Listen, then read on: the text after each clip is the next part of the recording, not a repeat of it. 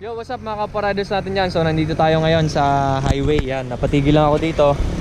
Kasi gagawa tayo ng tatawagin natin to mga kapwa. Bago to ha. Quick sessions mga kapwa. Kung saan gagawa tayo ng maiksing video. Kung saan kapupulutan pa rin natin ng aral o kumbaga yung knowledge na may share ko sa inyo. Maikse pero siksik o nandun yung pinakang pinakang laman ng pag-uusapan natin. Mabilisan lang to mga kapwa. Ano ba yung tanong? Ito na yung tanong. Normal po ba na tumataas bumababa yung RPM ng makina natin? So ayan, sasagutin ko na yan mga kapwa. Normal yon mga kapwa, lalong lalo na sa katulad natin, gumagamit tayo mga carb type. O mostly ng mga motor ha, carb type. So ngayon, medyo bago na, nagkakaroon na ng mga FI o mga fuel injected, nalilesen na nila yung pagtaas pagbaba ng idle. So sa ating mga carb type, laging tanong yan, tumata eh normal po ba na tumataas or bumababa yung idle natin? Normal yan mga kapwa, yun ang sagot ko. Bakit siya bumababa? Ito yung unang tanong, bakit bumababa yung idle?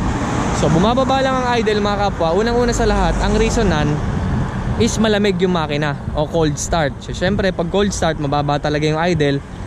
Maliban na lang kung gagamitan mo siya ng choke, kung saan tataas yung idle niya para para kumbaga bigyan siya ng rich, mas rich na mixture para mas umandar yung makina natin o para uminit ng mas mabilis.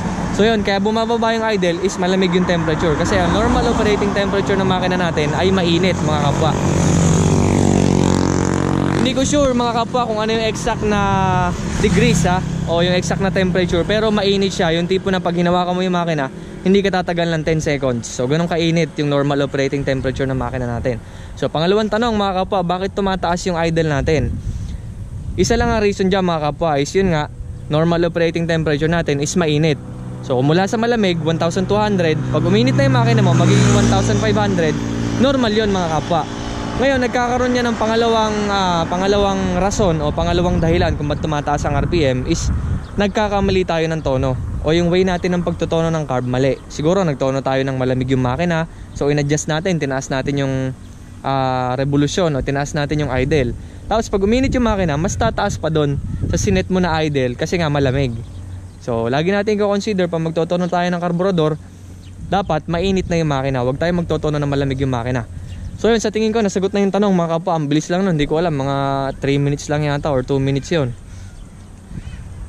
So, yun, ulitin ko lang ulit mga kapwa, konting recap. Ang pagtaas at pagbaba ng minor mga kapwa or ng idle natin ay normal sa carb type, lalo lalo na sa carb type mga kapwa. Ito pa pala yung isang reason kung ba't nagbabago yung idle natin. Pag pumunta tayo sa mataas na lugar, example, umakyat tayo, nandito, nandito ako sa Laguna ngayon, then umakyat ako ng Tagaytay or ng Baguio, yan, nasa tuktok ako ng bundok, for example. May tendency mga kapwa na bumaba yung idle natin pag lumamig na yung makina or kahit uminit na yung makina. Example, nasa 1,500 yung sinet natin na idle. Tapos, tapos pumunta tayo sa taas ng bundok o sa tuktok ng bundok, bumababa yung idle natin ng 1,300 or 1,400. Normal yun mga kapwa kasi ang unang reason doon or ang dahilan doon is bumababa yung atmospheric pressure na tinatawag natin. So ang atmospheric pressure ito, big example mga kapwa. Pag umakit tayo ng bundok, may nararamdaman tayo sa tenga natin, parang iniipit minsan yung tenga natin, di ba? So ganun yung nangyayari o dun yung pagbabago ng atmospheric pressure mararamdaman natin sa katawan natin yon mga kapwa. Sa makina, nararamdaman din nila yan. So, ang pinakang ano nila dyan, pinakang, ah, pinakang ano bang tawag doon? Pinakang, ano, ano, ano? Nakalimutan ko na yung tawag. so, ang pinakang mangyayari doon mga kapwa, ang mangyayari sa makina mo, magre-react siya.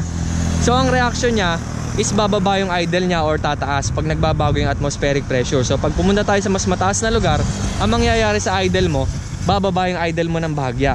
Pag pumunta ka naman sa mas mababang lugar o nasa sea level ka, mas tataas yan o babalik na yan sa 1,500 RPM. So yun yung mga atmospheric pressure, mararamdaman natin yun as tao.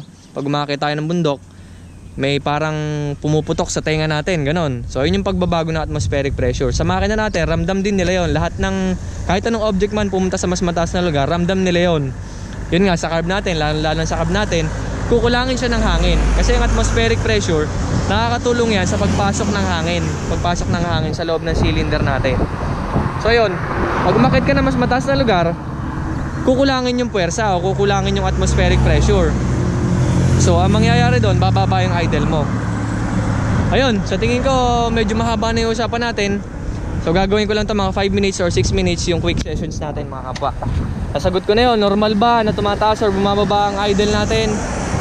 Ang sagot mga kapwa ay normal. So salamat sa suporta mga kapwa riders.